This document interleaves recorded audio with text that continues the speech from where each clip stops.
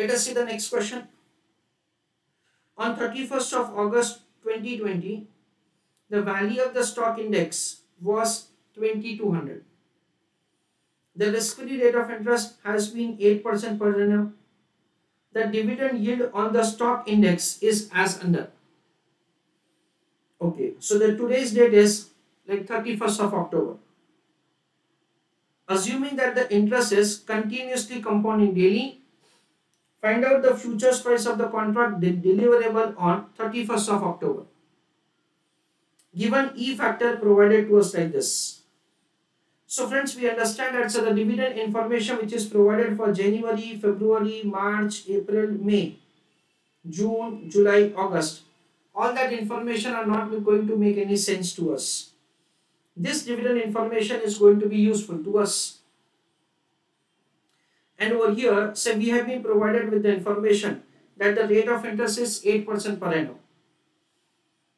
So we can make the computation of the futures price say using the spot value which is given to us, dividend information which is given to us and the rate of interest which is given to us. So we have to work out the answer like this. Working note number one. Calculation of average yield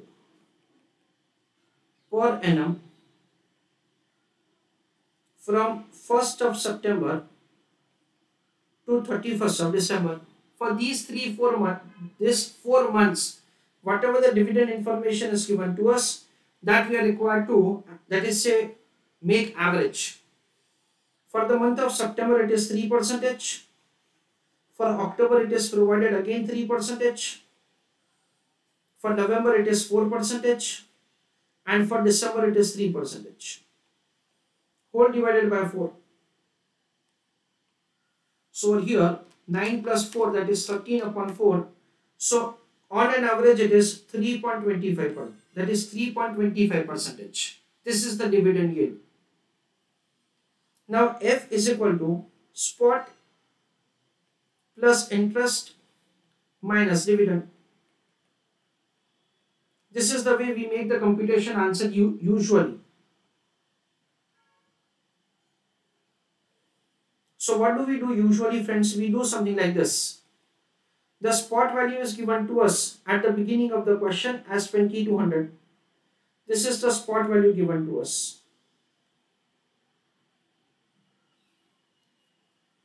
So over here 2200 plus 2200 into 0.08 minus I'm sorry 0.08 into 4 divided by 12 because the futures price is to be found for 4 months minus 2200 into 3.25 percentage. The dividend yield which we have calculated into 4 divided by 12 that is the way say usually we are required to that is usually we were calculating the answer. But since over here the e factor information is given so slightly we have to modify it. So spot into e raised to RF minus dividend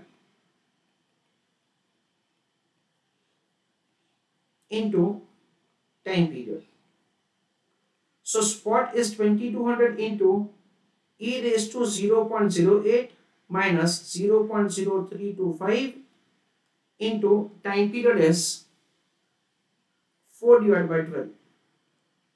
So 2200 into 0.08 minus 0.0325 so 0.0475 into 1 divided by 3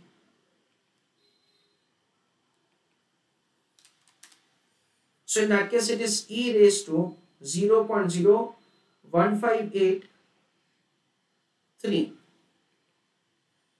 and you can see that in the question future value factor is provided to us that is E factor for E raised to 0 0.01583 and its value is 1.01593.